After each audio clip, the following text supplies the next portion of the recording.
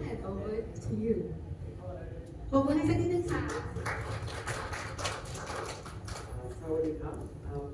โอเค สวัสดีทุกท่าน โอเค สวัสดีทุกท่าน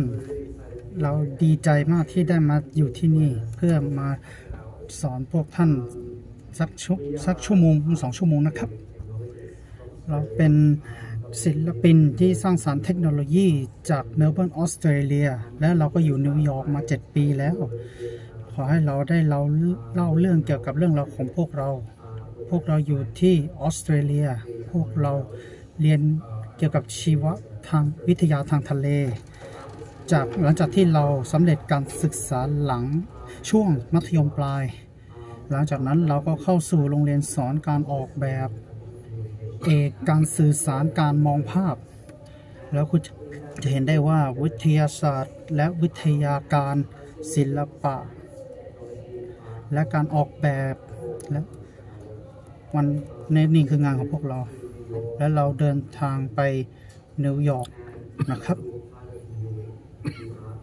แล้วเราเรียนรู้เกี่ยวกับวิทย์เทคโนโลยีและศิลปะอยู่สักอยู่หลายปีนะครับ แล้วเราก็ได้ทำงานร่วมกับพิพิธภัณฑ์ในนิวยอร์กนะครับ แล้วก็ได้เรียนรู้เกี่ยวกับประสบการณ์หลาย ๆ อย่าง แล้วคุณจะได้เห็นว่าสองหลายอย่างหลายอย่างในรูปนี้มันมีผลต่อผลงานของพวกเรานะครับ